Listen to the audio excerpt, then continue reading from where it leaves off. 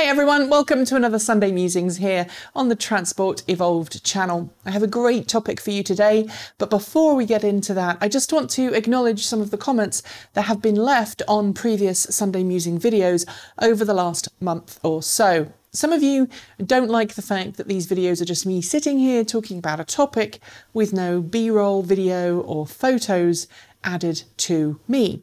And I want to be really clear that the Sunday videos are essentially just a one take recording of me talking unscripted on a particular subject that I've been thinking about for the last couple of weeks.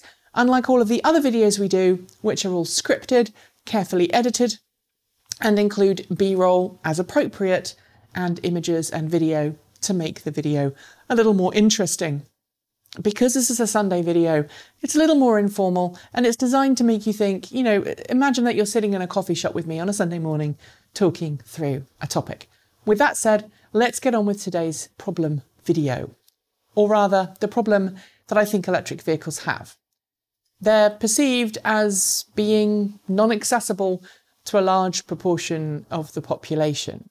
Electric vehicles have an image problem. It's not the image problem that used to exist when they were seen as being slow and boring, but now the image that they have is being playthings for the middle class, the upper middle class, and the wealthy. And a lot of people have not made the switch to electric because either they can't afford or they perceive that they can't afford electric vehicles.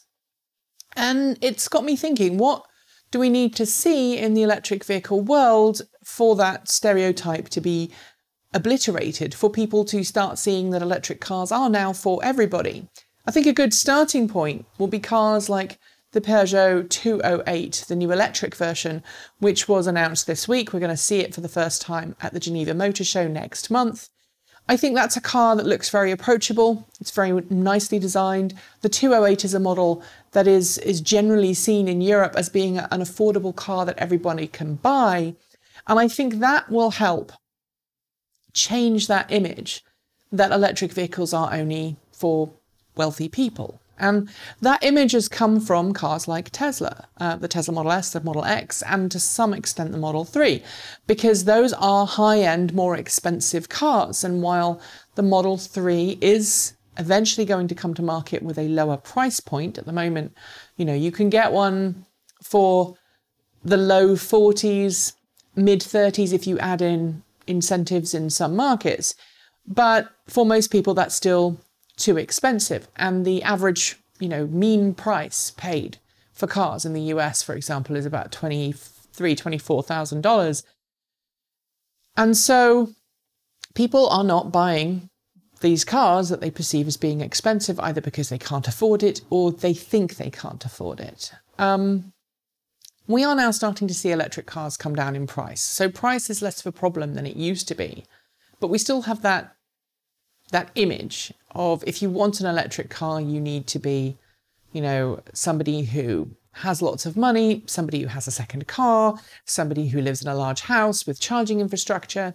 And I think a lot of those old stereotypes, the things that prompted people to say that, have now changed. So, for example, off street parking is something that only used to be thought of if you were wealthy enough to have a house with a garage or off street parking next to your home.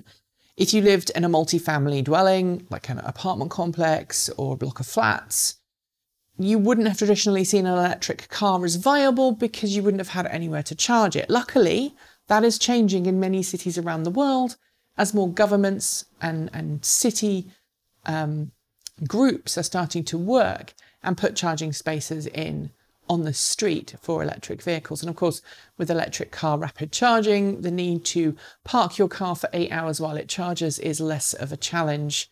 Uh, now you can plug your car in for 30 minutes and have an 80% charge, depending on the car that you have. So I guess my question for you today is how can we make electric cars more approachable? How can we make them not the stereotypes of of of having that wealthy, expensive requirement in order to own one.